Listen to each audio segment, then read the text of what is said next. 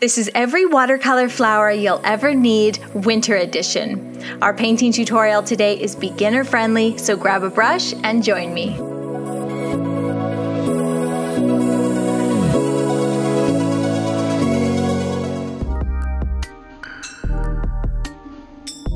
Hey there, welcome back. My name is Shayda Campbell and today we're painting flowers. Duh. Our supplies today are hot pressed 140 pound paper from Canson. I am going to paint everything with this number three pointed round brush. It's got a big belly and a nice fine delicate tip. Um, all the supplies are linked in the description and on my blog. And let's talk about the paint that we're going to mix up. You can use any watercolor paint. I'm using this set from Mungyo and I'm starting by mixing a very dark deep green. Now for me this is a mix of navy blue which you can see right there and a deep phthalo green which is a really dark green. If you have a brighter green just mix it with navy or with purple or brown. And then we're going to paint juniper first. So for the berries I am mixing a blend of that navy with French gray and purple. I'm going to put just a little bit on the tip of my brush and we'll come over here to our paper and I am just going to use the tip of that pointed round brush to paint a couple berries. You don't have to paint the same amount as me, just do a couple clusters, make it random. Then I'm going to grab a bit of that dark green that I mixed and we are going to just run some little stems right through those berries. From there, I start doing these tiny little linear sort of curving brush strokes um, on each side of those initial branches. I'm almost doing a little stippling motion as well. It's very rough and free, and I think painting pine is a lot of fun because you can get very playful with it. And you can see I'm just barely touching the tip of the brush to the page and kind of seeing what emerges. Sometimes it's a dot, sometimes it's a little line, and it gives us that look of uh, pine boughs. Now I'll come back to my palette and we're going to get a little bit of brown, again just on the tip of the brush, and we'll join everything together with a sort of broken brown stem. For the look of a tree branch, I like to do just kind of a messy broken line, a little bit of negative space showing through. And as I continue on here, I'll place a few more branches and maybe a few more berries. And you can make this little juniper as large or as small as you like. With those three colors, it comes together easily and it's a lot of fun to paint. And it would look really pretty on a Christmas card. Next up, I want to paint some little berries. So I'm using just a bright red, like a cadmium red, um, or if you like, you could mix a little pink in if you wanted a little cooler.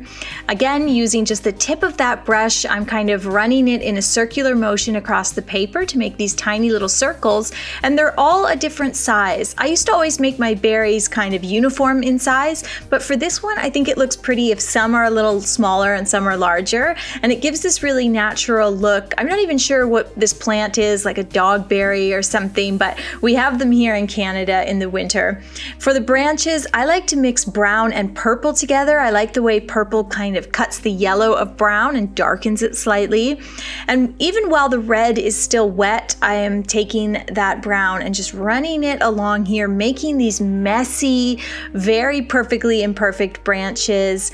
Um, I sound like a broken record, but I'm just using the very tip of that delicate brush, having a good good brush when you're doing these mini florals is so important because the belly of the brush holds lots of paint so you're not constantly reaching for the palette and the very delicate tip allows you to do this detail work so you can do both large and small areas with a single brush.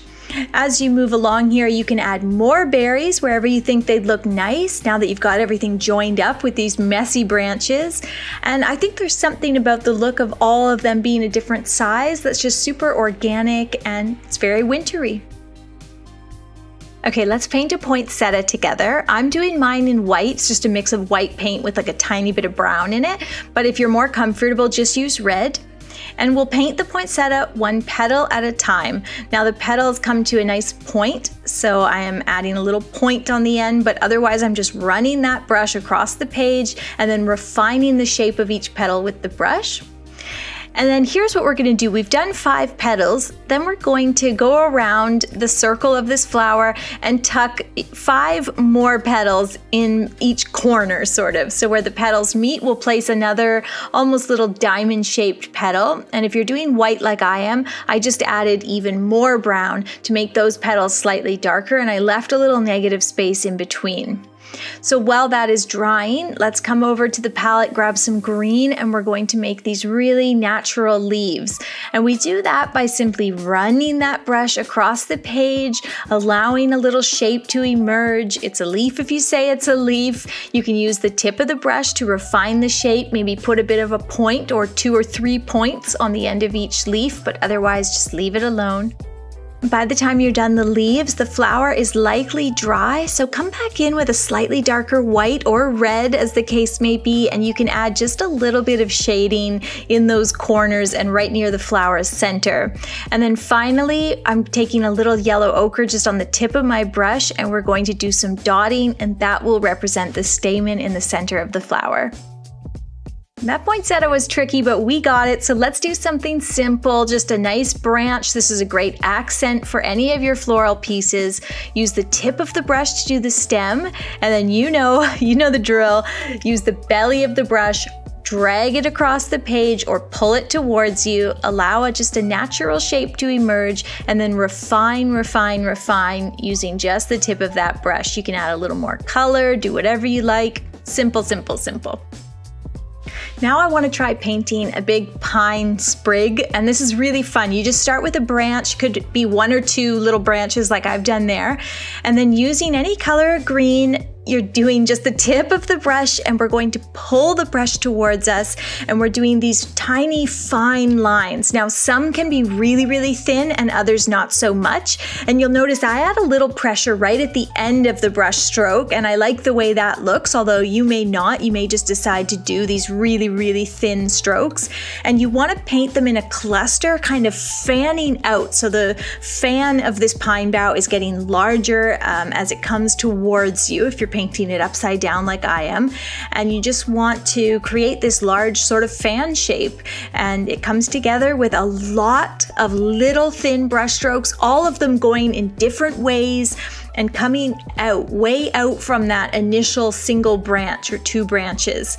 And it's just, uh, it's fun to paint because you're painting these little pine needles in every direction. And some I've done a darker green and some a more natural green. And it just looks really, really wintry. And I love that one. Okay, let's do a Shayda classic, and that is eucalyptus. It's always a good idea. It makes another great accent to add to your florals. Start with that thin curving stem, and then you're using the belly of the brush to make these natural leaf shapes that are a little bit larger. Some are going to be very circular, some might be more of a pointed oval, and some will just be downright very thin, and you can see how I'm doing that there. Uh, sometimes you're putting one on each side of that branch, and other times right across the branch for a very natural and three dimensional look. Eucalyptus is so much fun to paint. Play around with the color. You can see I've added a lot of blue to my green for this very cool tone. Play around with the size and the shape and don't worry about messing it up. Let's paint some holly together, what could be more Christmassy. I am starting with red, nice dark rich cherry red here, and I am painting clusters of berries. So you can do as many clusters as you like. And then here's how I want to paint this. Using just water, I am painting like this messy little leaf, and then I am taking a bright green paint and releasing it into it. Then I'm going to grab a darker green, that deep phthalo green, and I'm going to release a little bit of that into the wet area. This didn't quite go how I wanted, like the um, initial leaf shape wasn't wet enough or it was drying very quickly. So I wasn't quite getting the spread of paint, that wet into wet that I wanted. So I'm gonna try it again. I've got a, you know, just a very light green water basically. And then I am releasing some green into that wet leaf area that I've painted. And I'm using two different colors of green. Again here, I'm not getting like as much movement as I want. I'm gonna redeem myself though. I'm gonna get it. Painting a mess messy leaf shape with just water or like a lightly tinted water. And there we go. I'm getting that wet into wet movement. I have redeemed myself. I'm using two greens and they're blending really beautifully. And I want them to sit inside the leaf shape, but not fill it entirely. If you can see on that third one, there's some really light spots and I think that looks nice.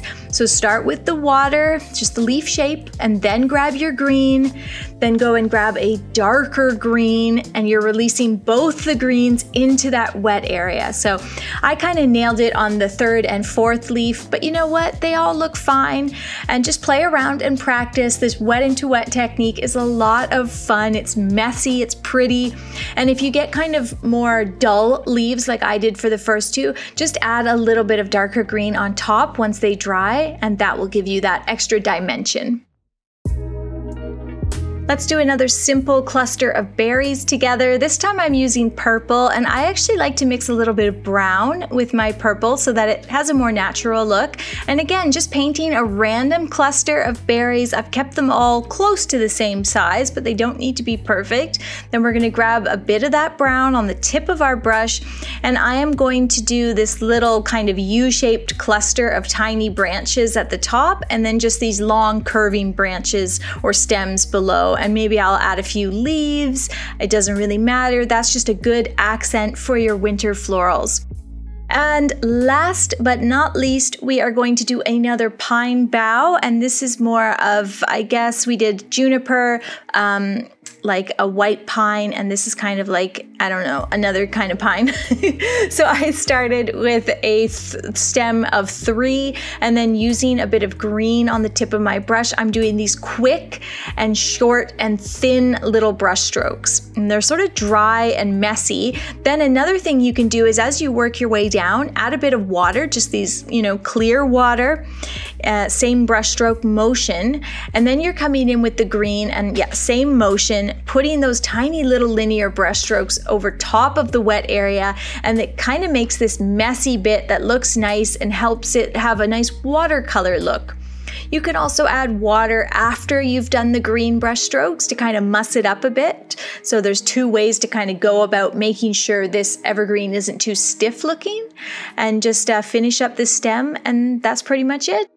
We'll complete our little winter mini florals today by just doing a bit of wet on dry. So now that everything has dried, we can layer more color and we can get a lot of precision because we don't have to worry about anything running or bleeding. So you can see I've added a darker red to the holly, a bit of dark green on the eucalyptus, maybe put a little bit of darker green on some of the leaves, say for the poinsettia or the uh, evergreen or even the holly.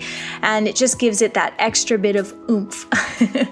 Well, that's about it. I hope you'll try these winter plants. They're a lot of fun to paint, and if you're in Canada or many other countries, you got a long winter ahead of you. Thanks for watching, and I'll see you soon with a new tutorial.